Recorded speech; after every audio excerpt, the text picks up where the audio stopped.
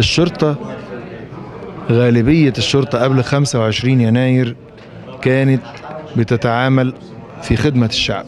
بعد 25 يناير الموقف كان صعب شوية وخدت وقت علشان توصل للمواطن أنها جزء منه. الشرطة مش غريبة عننا زي ما القوات المسلحة ما هيش غريبة عننا.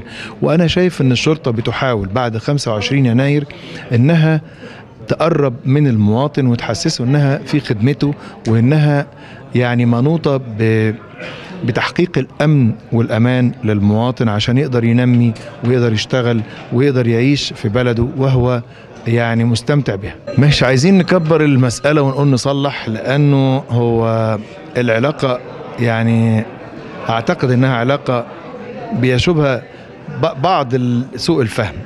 مش مش مش مش جذري يعني.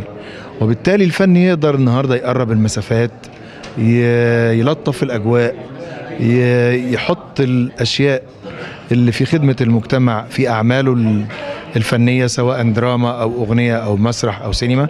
ونقدر كلنا علشان إحنا في مركب واحدة نتعايش ونتعاون اننا نعدي المرحلة دي. إحنا مش هنقعد نقول أهلي وزمالك ولا قط وفار ما ينفعش. الشرطة والجيش والشعب والمواطن كلنا واحد.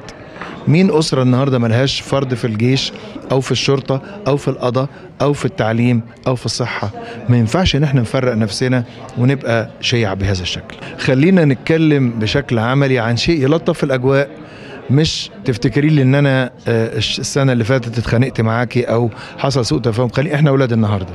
خلينا نتكلم النهارده إزاي نقدر نخرج من اللي إحنا فيه. اللي إحنا فيه كبير قوي محتاج جهد كبير قوي مش محتاج تسخين محتاج تلطيف. بقول للمصريين خلوا بالكم مصر أنا مش خايف عليها.